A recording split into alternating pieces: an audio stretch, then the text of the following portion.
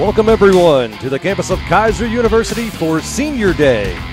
As number six Keiser University Seahawks get ready to take on the Southeastern University Fire. As Adrian Camacho. Camacho gets around one defender, taken down in the box, and we're going to have a penalty kick.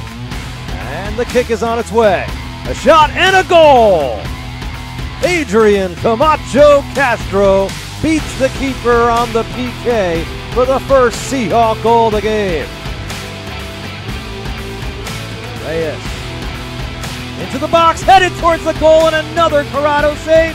But then the rebound is converted off the foot of Rodrigo Montez Silva for the second Seahawk goal of the game.